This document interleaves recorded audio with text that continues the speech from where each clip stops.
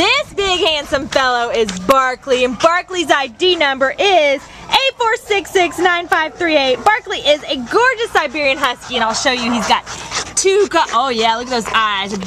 Oh yeah, brown eye and a blue eye, just so beautiful.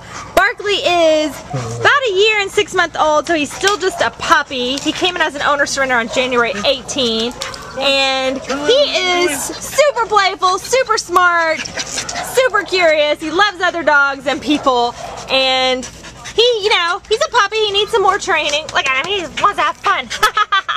but um, he just needs an active family, some kids, run around in the yard with them, taking on some hikes, take him jogging down the street.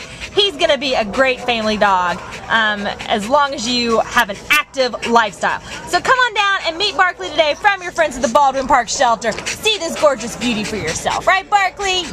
Yeah. bye bye, Barkley.